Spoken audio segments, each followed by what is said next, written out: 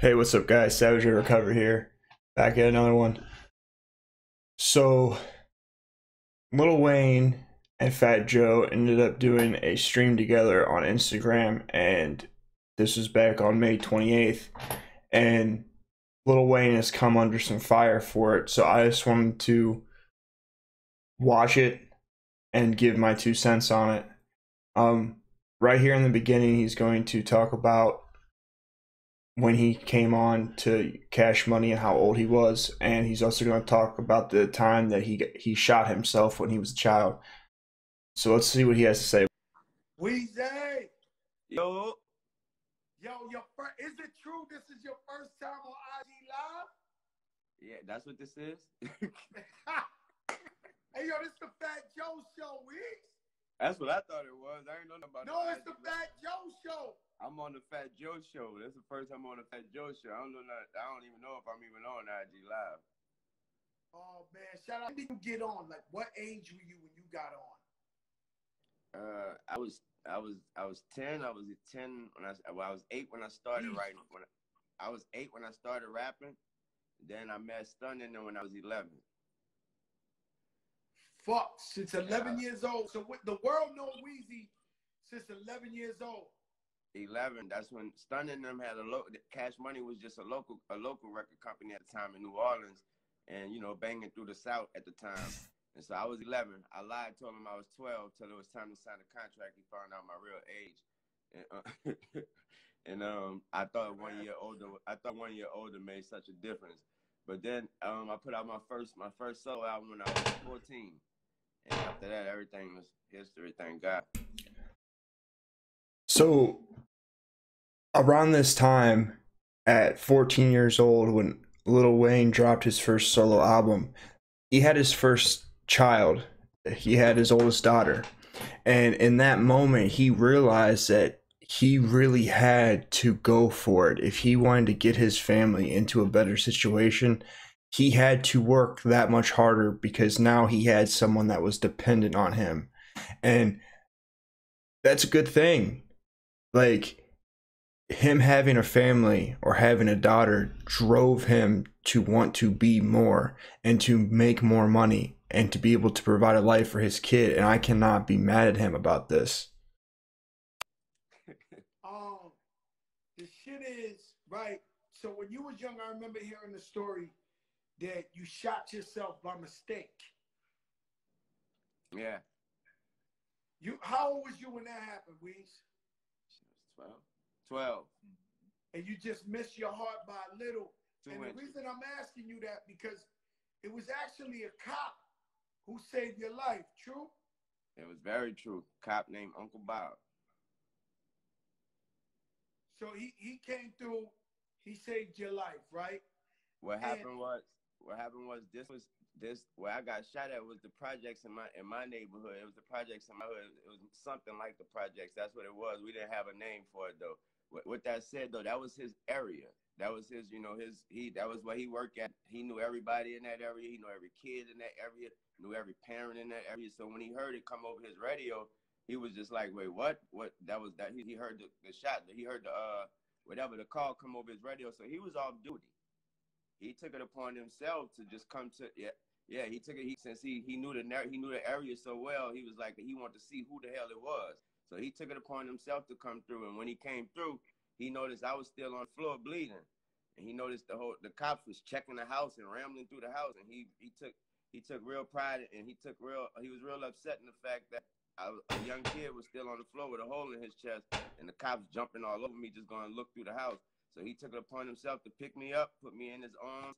He screamed at somebody to come drive the drive the cop car. They drove the car. He sat in the back seat with me. He held me in his arms. He bust through the hospital doors. He put made sure they it was no waiting. He put me straight into the emergency room. They they patched me up and he made sure I lived. Once he know he would not even he would not even let he would not even let me pay for his dinner, man. That's crazy. He was just so what i think a lot of people are get are uh, getting the heat like uh giving heat to Little Wayne. Little Wayne has said stuff uh like this stuff before. Uh the fact of the matter is is like as you can see, he grew up in in Louisiana and a police officer, a white police officer was off duty came and saved him. And he was mad that the police were more worried about looking if there was drugs or if there anything else than helping him live. So he made sure at like he made sure that he, he took him to the hospital and he lived. See that's a good cop. Uncle bob is a good cop at the end of the day no one can take any way, anything away from uncle bob. Like there needs to be more cops like that. Straight straight put like point blank there needs to be better cops like uncle bob. Uncle bob saved a, a, boy's life on when he wasn't even being paid for it. He just decided that it was his neighborhood and those were his his people so he needed to be there.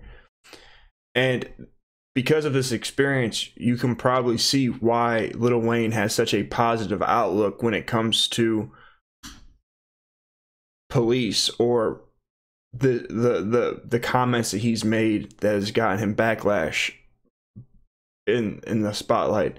But you also have to remember that Little Wayne got arrested for a gun charge in New York, and he did go to the he did go to prison. Now, granted, he has money and he got special privileges. Harassment, but one day I was visiting my mother in the projects, and my son choked.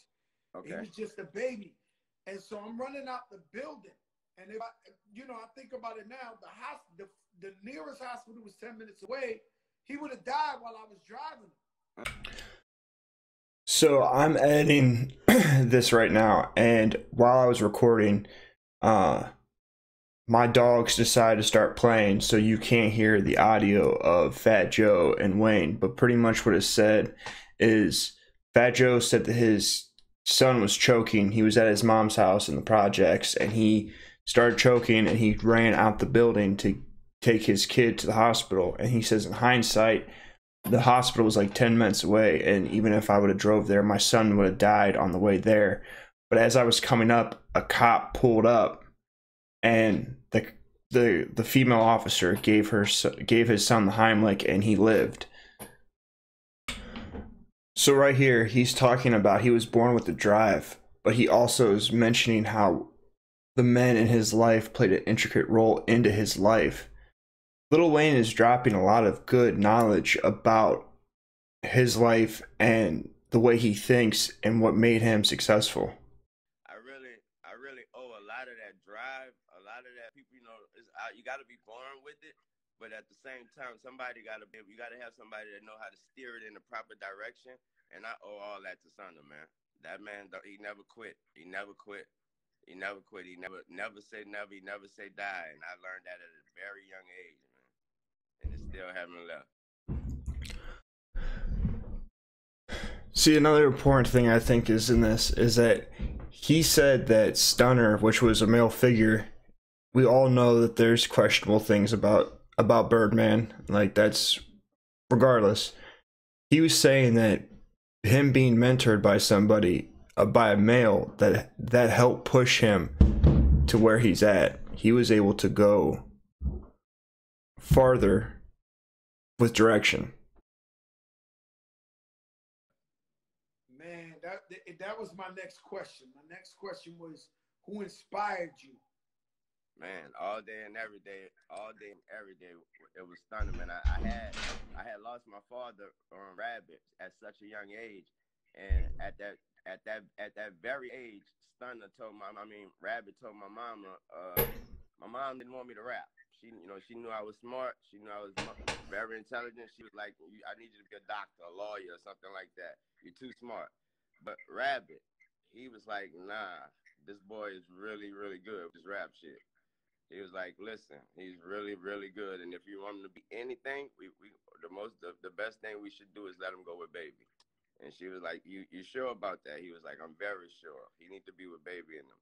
And so, I, with that said, once I lost Rabbit, Stunna became more, more than a manager, more than a, a, a, a cash money. He was a father figure.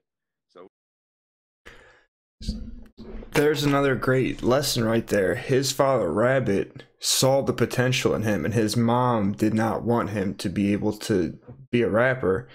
And Rabbit pushed his mother and to let him go in that direction. Had Rabbit never said this, we might not have ever heard of Lil Wayne.